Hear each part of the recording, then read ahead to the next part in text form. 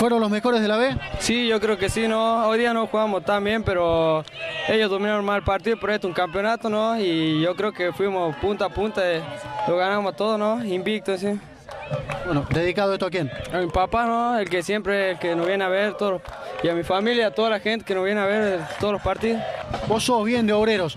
Eh, ¿Tenés ganas de que se dé el partido de los campeones con San Martín? Ojalá, ¿no? Ojalá pudiéramos jugar ese partido y demostrar que estamos bien nosotros, ¿no?